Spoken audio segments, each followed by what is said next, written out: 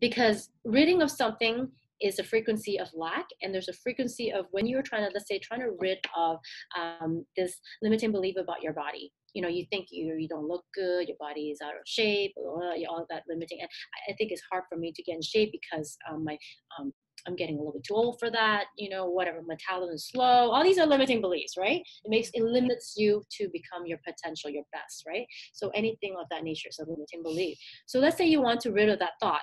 You can't just be reaching to try to get rid of that because then that is the topic of focus. And then anytime you have the topic of focus, you amplify the thing you're trying to rid of because the frequency of, right? So you reach for something better.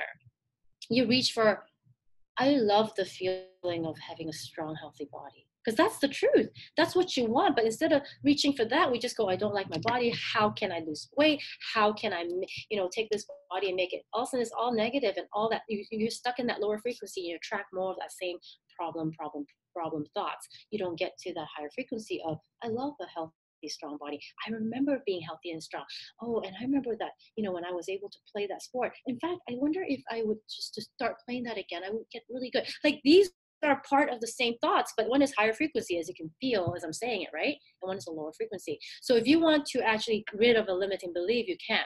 You need to replace it with a really good belief because all beliefs are is a thought that you have continued to think. So it becomes your story. So if you can come to a story, you can make a new story.